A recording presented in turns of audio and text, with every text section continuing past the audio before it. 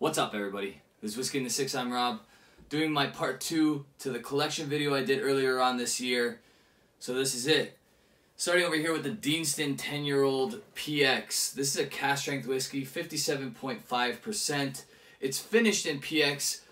This came out for, I think, $80 Canadian at the LCBO. It was an absolute steal. It sold out so quickly.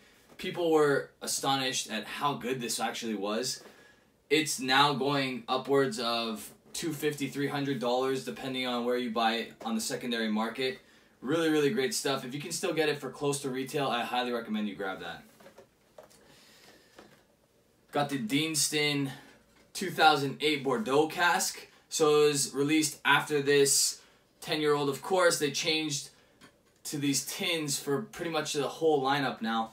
Um, this one's also cask strength, 58.7%. It's really, really good stuff. Like I said, it's a Bordeaux cask, uh, cask strength stuff. Gooey, just great whiskey, really sweet. This one over here was a gift from my brother Luke. He had this for quite a while. He bought it when it was regular price at the LCBO. I think it was around $170, maybe a little bit less. Uh, it's 46%. It's the Glenmorangie Milsean. I've heard some really, really great things about this whiskey. I've heard some really, really bad things about this whiskey. I think the consensus is it's really sweet. So if you like really sweet, you're gonna love this whiskey. If you don't like really sweet, you're not gonna love this whiskey. I plan on cracking this one maybe around Christmas time with the brothers. Recently, a few of us have become Springbank Society members. This is a Longrow 11. It's cask strength, 56.9%. It's a refill recharge sherry butt cask. All right. Uh, they come in these cardboard boxes that are not very fancy, which is I think pretty cool because we don't have to worry about paying extra for the packaging. This one's 56.9%. I was lucky enough to get a backup of the Longrow. They recently released a Springbank 15 year old, also cask strength, aged in port, that I wasn't able to get a backup of, but uh, that one will be in a review shortly. So will this. Okay, moving on to some Canadian stuff. I have some Lot 40 cask strength.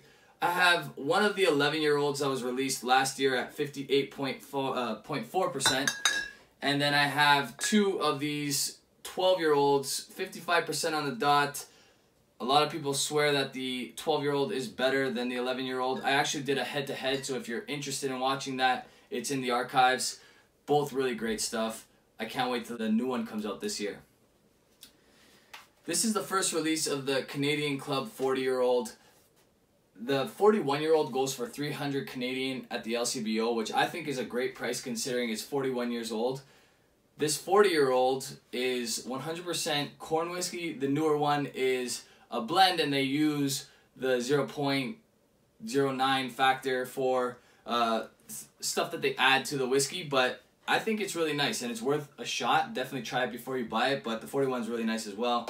This one is more of a keepsake because it's the first time something has drastically changed in Canadian whiskey in a long time when this was released along with the Northern Border collection. So I'm happy to have this one in my collection.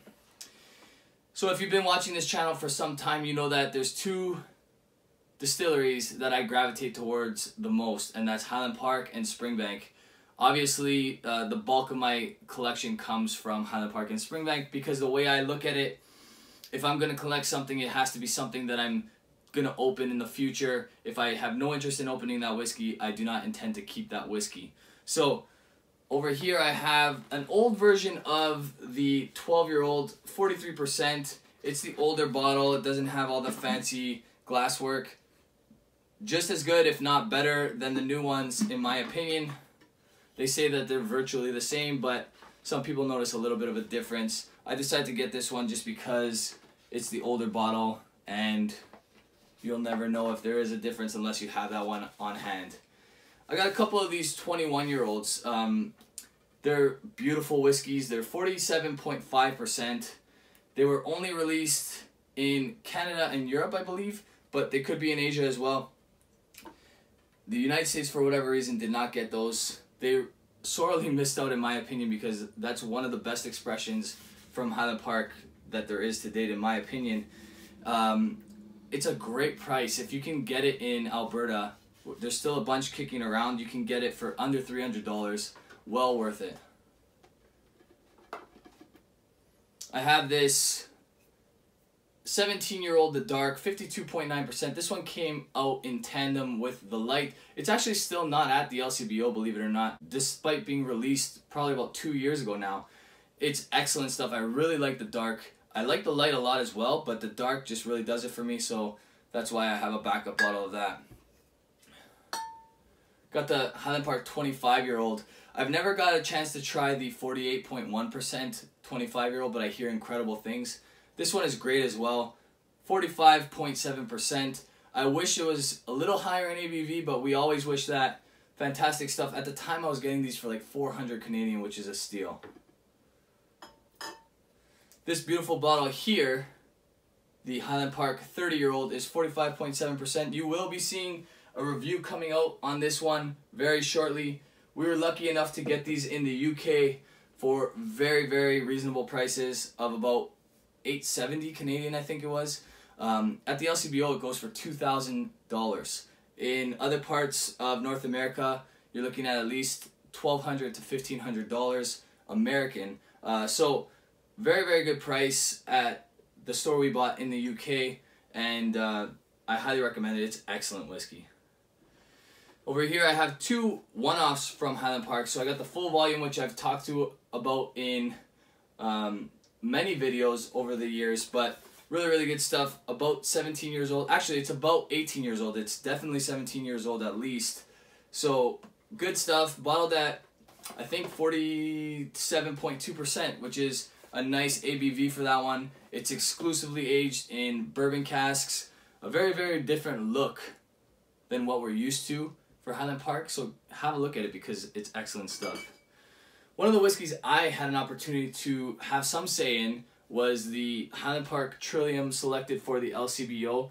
This is a 12 year old single cask, cask strength, 61.4%.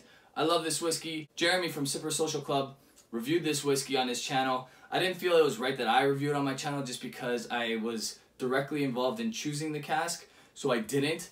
But watch his review of it. I think it's fantastic stuff. I think he believes that too. It's about $250 Canadian, so not cheap. LCBO doesn't really have cheap prices for many things, but that's one of the things that if you want a really good whiskey and you don't mind spending the money, definitely invest in that.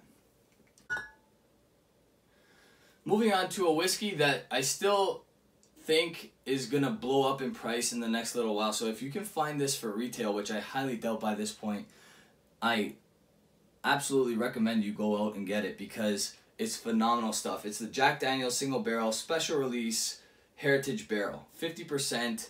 It's just incredible whiskey. Honestly, it's one of the best American whiskeys I've ever had in my life by far. I honestly think if you have a few bottles of this, drink them if you can, but the price on this is just going to skyrocket and it's incredible stuff. Compared to what's out there, there's no reason why that shouldn't skyrocket. It's actually a rare whiskey that comes from the United States, whereas some of these whiskeys that are considered rare have releases of 45,000 bottles a year. So not quite that rare. That's definitely rare. They're not making any more of it. Alright, so a couple one-offs here. I got the BenRiach 22-year-old Moscatel. I reviewed this way back in the day. Got a full bottle of this bad boy. It's fantastic stuff. I'm gonna pop this eventually on a celebratory night. Really, really great whiskey. Honestly, uh, the the 21 year old goes for $400 at the LCBO. This one, if you value it next to that 21 year old, should be probably worth five, six hundred dollars compared to that. So I'm not exactly sure what the secondary value on this whiskey is, but it's fantastic stuff. I got the Balblair 91 and Balblair 1990. Now the 91 is bottled in 2018. The 1990 is bottled in 2017. If I had to choose between the two, I'd choose the 90 because it's a little heavier on the sherry side, whereas the 91 is a little heavier on the bourbon side. But both of them use a combination of bourbon and sherry casks. Both wicked whiskeys. I highly recommend them. One of the series that I really want to collect, um, get at least two of each time, is the Classic Cut series. Now, I have the 2017 here and the 2018. The 2017 was 58.4%. The 2018 was 51.2%. It's incredibly difficult to get cask strength or high ABV Macallan. The Classic Cut series and the Edition series, which I have the two and three here, which are my favorites aside from the one, um, are the only real opportunity to get high ABV Macallan. You're not going to get it from any of the age statements unless it's one of those exceptional share casks that are near impossible to get. Uh, these whiskeys are great. I do intend to collect the Classic Cut series, like I said, because I believe in 10, 20 years, just like the cask strength, when it was completely sold out and discontinued, went up in astronomical prices. I think for $150 Canadian, $100 American, um, you're going to get great whiskeys to try and then also collect, and they're very affordable. A couple more one-offs here is the Clynelish 1997 double matured sherry and ex bourbon. It is the distiller's edition. Okay, this one was bottled in 2011, so it's about 14 years old. It doesn't say the months on it, so we can assume that it's at least 13 years old. I like this one a lot better than the 14 year old regular release that Clynelish does. Some people don't. That's okay. This is really good whiskey in my opinion. I got a review coming out on this very shortly. A bottle that I've already reviewed early on in my channel, which I decided to stock up on back in the day when it first came out, was the Glenfiddich uh, Malt Masters Edition. It is really nice whiskey. I really, really like it. Everybody I've served this to thought it was phenomenal. I have one bottle left. I'm going to stash this one for a little while, revisit it in the future. Last but not least, going back to my Springbank collection, I talked about my Longrows and my Springbank 12 in length the last time. I have a couple more to show you guys. So I got a Longrow 17 year old single cask. It's 54.6%. This one is phenomenal. It's aged 10 years in a Chardonnay cask after being aged 7 years in a bourbon cask. Only 360 bottles. It's one of the greatest Longrows that I've tasted. It's so, so good.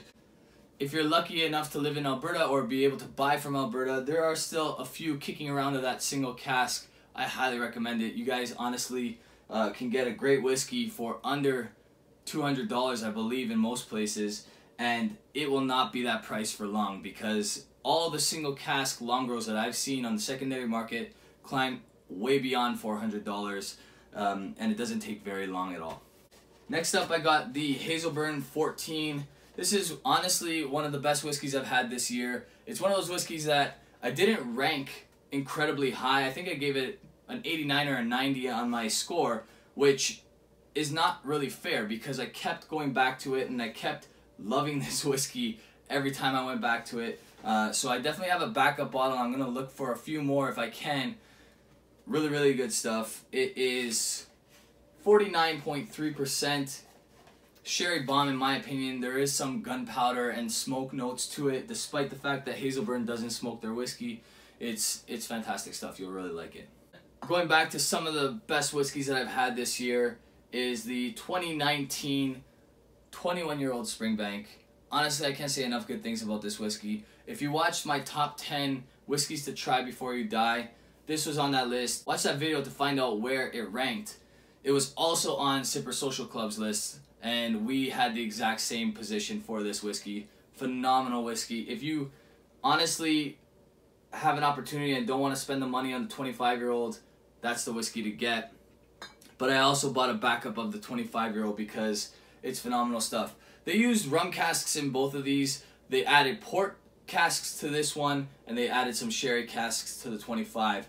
So um, both of these in 2019 were excellent. I don't know, maybe Springbank just really went nuts in 2019, really decided to put heavy quality whiskeys out because everything I tried from Springbank this year was phenomenal. The only ones that I can't really speak to are the Springbank 12, but I tried the 10, the 15, and these guys, and I didn't even love the 15 back in the day, but I tried it recently and I really liked it. So who knows, maybe I can go back to the 18 this year and I'll enjoy that as well. That's my video for today, guys. Hope you enjoyed it. If you like it, give it a thumbs up. If you really like it and you haven't already, hit the subscribe button hit the bell so you get the notifications for when I release a video. You guys can follow me on Instagram, Twitter, Facebook, and you guys can also support this channel on Patreon. Cheers.